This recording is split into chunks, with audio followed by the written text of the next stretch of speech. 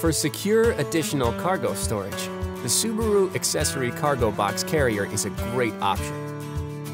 After you've completed the pre-assembly of your accessory cargo box, carefully lift and place it onto the roof crossbars of your Subaru. Having another person to help you will make this step easier. Once you've properly positioned the cargo box, you can secure it according to the manufacturer's specifications.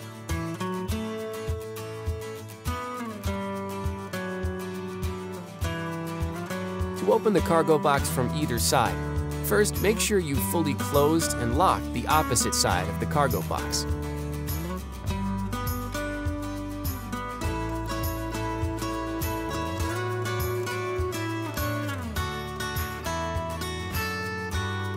When loading, make sure your items are distributed evenly, with the heaviest, bulkiest objects in the middle and tied down securely.